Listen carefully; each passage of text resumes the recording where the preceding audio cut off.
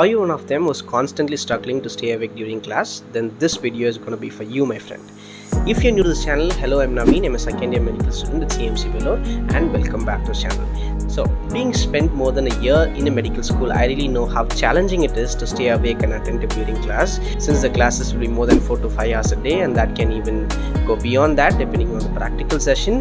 And of course, classes will be overwhelming considering the MBBS curriculum into account. So, in this video, I'm going to talk about 6 tips and tricks that you can actually utilize to tackle all those difficulties that you actually face to stay awake and attentive during a particular class. Given the fact that you have at least slept well, that is about 7 to 8 hours a night before the particular class, and considering all other ideal factors in mind. And by the end of this video, you will actually know what exactly to do to stay attentive during a particular class. And few of the tips may also be familiar to you, but just please don't skip the video because I'm also going to talk about the scientific research and evidence behind that which will help you in understanding how relevant and how useful is these tips and tricks in your particular lecture or class. So it all starts from the very beginning you actually enter the class. So try getting seated within the first half of your seat arrangement. Let's say for example your lecture hall has 50 rows of seats.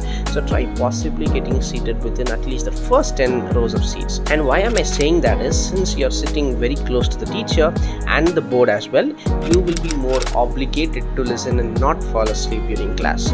So you will be in a condition always thinking not to fall asleep since you're more closer to the teacher and of course that might help you as well. So now you have been seated. So the next tip that i'm going to talk about is maintain a straight posture during your class. Don't use your hands to support your face or don't lean which might induce sleep. So just maintain straight posture. That is again gonna benefit you a lot.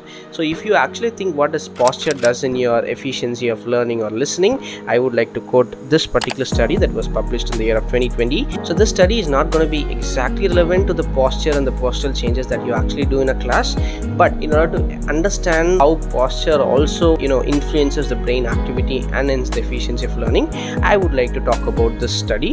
This study is actually based on the brain activity during a working memory task in different postures that is in sitting standing and in a supine posture that is a lying down posture.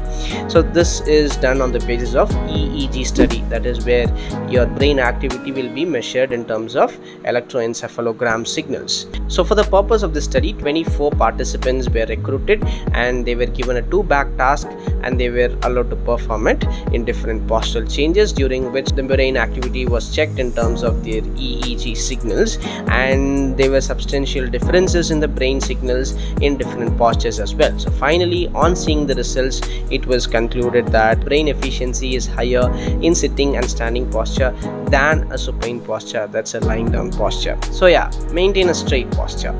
And the next step is being engaged in the class. So one thing you can do in order to be engaged in classes you can take notes or summaries of whatever which is being taught. Or if you're not a person who usually take notes what you can do is you can bring the respective subject textbook and you can highlight whatever is being taught or whatever is being emphasized. That will make your learning more more easier since you're actually knowing what's actually important and that will help you in reading big big gold standard textbooks as well. And the next step is to practice deep breathing or something known as diaphragmatic breathing to put it more scientifically. That is you'll have to contract your diaphragm which will help in deepening the inhalation and exhalation. In, in more simpler words it's actually taking deep breaths.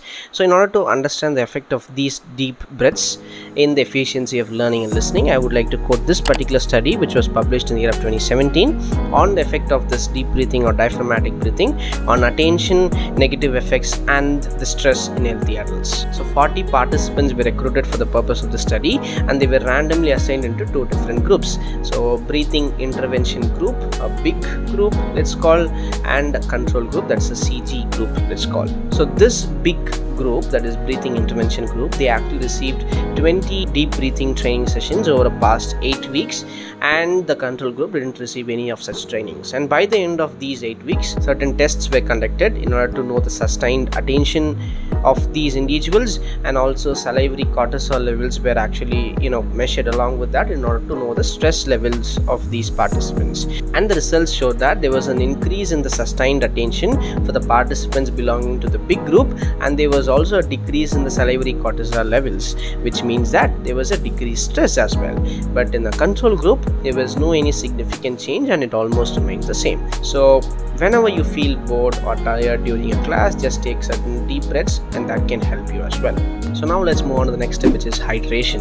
So this particular tip is not going to exactly benefit you more when your hydration status is pretty good and normal but when you're dehydrated or your hydration status is poor this this can actually improvise your attention and alertness in your class. So as we all know water being a basic requirement of a human body and water accounts for more than 75 percentage of brain mass. So which means there should be definitely an association between the cognitive performance and the state of hydration right? So in order to know that there was a research that was done and that was published in 2019 which studied on the effect of dehydration and rehydration following dehydration and effects of these two phenomenon on the cognitive performance and the generalized mood as well. So for the purpose of this particular study 12 uh, participants were recruited and they underwent a 12 hours of overnight fast after which certain baseline tests were done like anthropometric measurements certain urine and blood biomarkers and something known as a VAS visual analog scales which was done in order to know the intensity of thirst of an individual and of course the profile of mood states in order to know the mood status and certain cognitive performance tests as well. So once these baseline tests were conducted those participants were then subjected to a 36 hours of water deprivation period after which another test was repeated again. And let's call that as a dehydration test. So now after these 36 hours of dehydration a 1.5 liter of water supplementation were given to these participants. And after that another baseline test were done. So now when the results of all these three tests were compared, it actually showed that dehydration had negative effects on vigor, short-term memory and attention and subsequent rehydration through water supplementation following a dehydration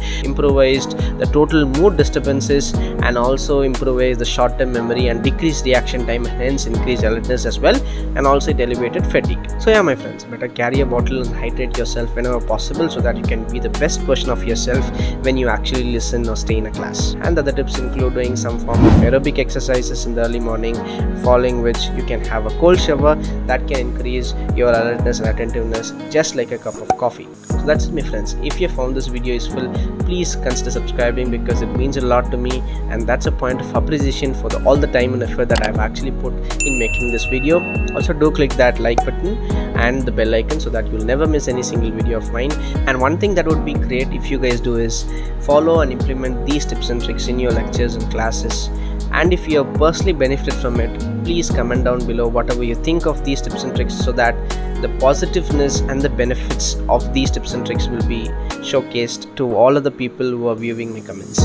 So let's stay awake and attentive during the class. Until then see you all in the next video